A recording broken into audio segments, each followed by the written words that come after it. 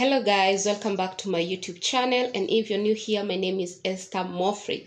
So in today's video, I want to show you or share something that is very important. If you've been following my videos, um, I have done similar video, but that one was for beginners. Uh, it was beginner friendly.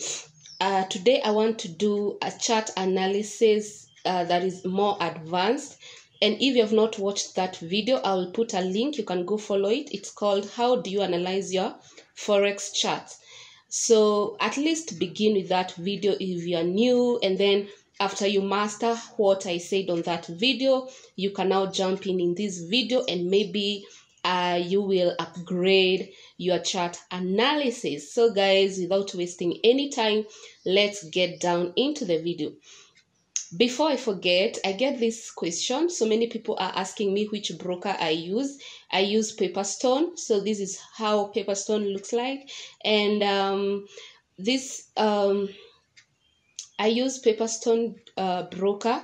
So what you need is that uh, you just need to go to uh, in the description box below. You will find a link with pepperstone.com. Uh, just click the link and you'll go to the uh, uh, Pepperstone website, go and create an account. The best thing with Pepperstone, I've used them for months now, and they are good. Uh, I would recommend them because the transaction they have so many transaction uh, methods such as PayPal. They have M-Pesa, they have bank, they have Visa, they have uh, they have wire transfer. So I would prefer a broker who the payment method is not a hassle. More so when you're in Kenya and you know we like using M-Pesa. M-Pesa is instant, their withdrawal is instant. So I would highly recommend Pepperstone broker. So the link will be below my description box below. If you want to check them out you can click follow the link register with them and start trading. So guys without wasting any time let's get down into the video. So we have said this is advanced. We have said this is advanced chart analysis. I have i will repeat again. If you have not watched the video that i did on chart breakdown on how to analyze your forex chart for just uh, beginner friendly kindly uh, there's that video actually i'll put the link in description box. Watch that video before you watch this one. So uh, with time i've come to realize that if you want to be sure with your trades you need to uh, to up your game on chart analysis. And today we want to analyze gbp jpy the first thing that we need to start with is monthly uh, analysis. So on the time frame bar you just choose the monthly and uh, uh, monthly time. You highlight it highlight it because uh, sometimes it's not highlighted. Just uh, highlight it to add to your favorite. Then take weekly then daily then four hours and maybe 30 minutes. But we will focus on four time frames. That is monthly weekly daily and four hours. So uh, let's go to our monthly charts GBP JPY, our monthly chart. So this is what we see. So what is the first thing that you do when you open your monthly chart? I know many people don't want higher time frame because they think uh, you'll spend a lot of time waiting for position, waiting for opportunities. But let me tell you, if you have been failing or you have been losing in this market, maybe your time frame is the problem. Maybe you're using one minute, five minutes that has a lot of noise. Kindly try to follow this video, try to change your time frame, and come back, comment down below, and tell me if there's a difference in your trading, uh, trading journey. So the first thing that you need to do is to highlight both support and resistance. We have two positions. We have uh, this is our our support where the market has gone lowest, and then we have the second uh, resistance where the market has gone the highest. Now you have to position, at least you have started to analyze your chart. Remember guys, this is advanced uh, uh, advanced uh, videos. So when I say resistance, I don't need to explain what is resistance because I, like I've said, you have to watch my first video where I break down everything. So when I say resistance, because you're advanced, I know already you know what I mean. So this is our resistance and this is our support. So guys, um, after you get those two positions, you start asking yourself, what kind of a, a market is, is this? Who is in control? What else can you see? What else can you identify? Can you identify resistance in the middle of the chart? Or, or the, yeah, because as you can see when we have spotted our resistance and below our support now we have uh, this uh, market or price in this in this uh, in this position in this box. So can we at least identify another resistance or another support? Of course we can do that. So we can come here. You can see we have another resistance where the market stopped and then we have another support. So at least you have those four positions and they are very, very important to know uh, to know what the market is telling you the market communicates and it's you to know how does it communicate. So after you have identified at least two resistance to support and this is on monthly time frame. The next thing that you do is you take your trend line. We want to spot this the key places where the market stopped because when the market stops on monthly time uh, time the monthly time frame it means that that key place or key zone is very very important. So all we do we take our trend line. We mark the first place the market stopped you can see this is our highest place. We cannot go to this one because this one shoots above this previous high. So we'll start with our pre our our last high and then we come and connect it to our second high and then we try to connect it to our third high like that so you can see uh, still you are trying to identify the key position. You can know uh, a certain day. Let me just pick this um we call it the highlight. Um you can see the market was uh, was reacting on this zone. So whoever had marked this on monthly time frame around around the month of june they were able to get a sell position. So it is very easy to identify uh, zones that are very important in the chart. Whoever marked this they were they knew automatically there will be a reaction. And as you can see let me just zoom it. You can see that's what happens. There's a reaction here. So we can just put that as our target place. So now you have three zones. So as long as the market has not broken this we cannot call this an uptrend yet on monthly time frame it is on a zone it is on a channel that's what i mean. So this market it was trending down. You can see it is creating. What does it create? Can you identify? Can i give you one minute to try to identify what this market is creating. We had a high here and then the high did not break our previous high. So it created a low high meaning the sellers are in control. And then these sellers they never broke this low because this is our high this is our low. If you remember on the previous uh, video that I told you, I really emphasized on high highs and high lows and low lows and low highs. So this being our high and this being the lowest of the market, the sellers were supposed to come this way and break that channel. Let me just uh, highlight that to a bright color. So they were supposed to come and break this low, but guess what? They didn't break the low and that's why the market is in the channel. So unless the market moves outside the channel we cannot clearly say it is an uptrend or a downtrend. But at the moment we can see low highs are being created giving sellers more uh, control over the market.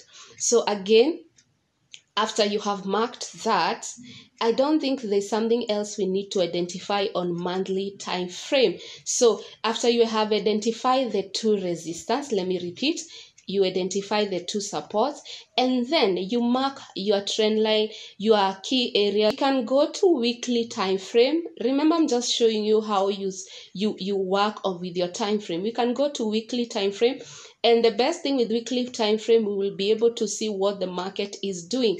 You can see for a quite a while the market was ranging on this zone. Let me just show you. It was ranging on this channel.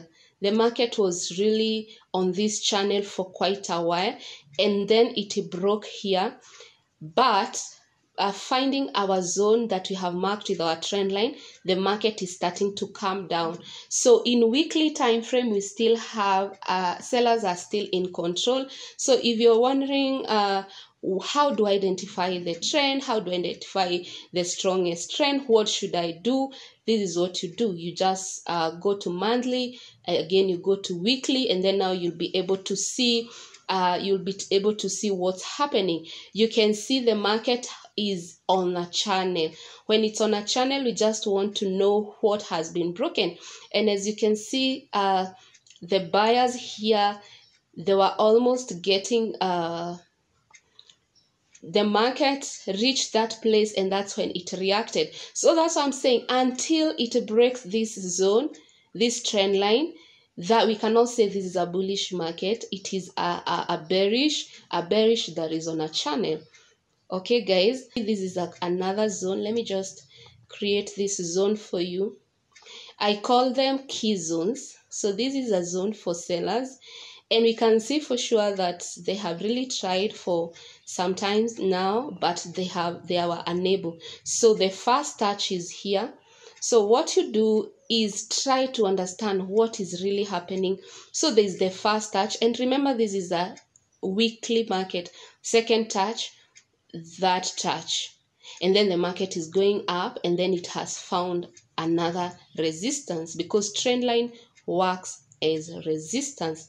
And now the market is going down according to weekly time frame so after you get that so for the weekly time frame you are able to identify this zone. Remember on monthly we could not identify this zone because um, monthly it doesn't give us more details. So let's go to daily time frame so the daily time frame uh, again at the trend line it has created another channel.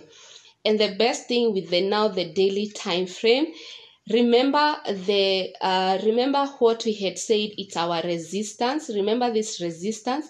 Now it is acting as support. So we have another we have another zone. We have another zone here.